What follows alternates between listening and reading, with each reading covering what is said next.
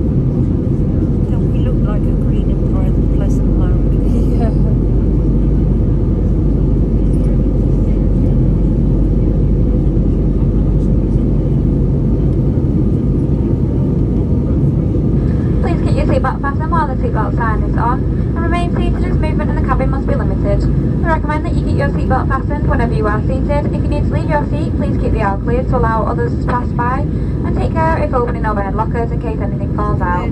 Toilets located at each end of the cabin all are fitted with smoke detectors. Smoking is not permitted on board at any time. This includes e-cigarettes. Please ensure that no more than two people are queuing at the toilets to avoid congestion.